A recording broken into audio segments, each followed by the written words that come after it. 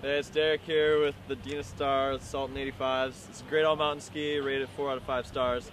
It's got good side cut, easy turns. Um, it's got still stable underfoot so you can get through variable snow conditions. Uh, it's got a lifted up tail, as you can see.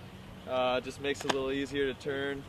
Um, great, great ski. It's got a shovel nose tip, get through soft stuff. Uh, like I said, four to five stars. Great for any big all mountain skier.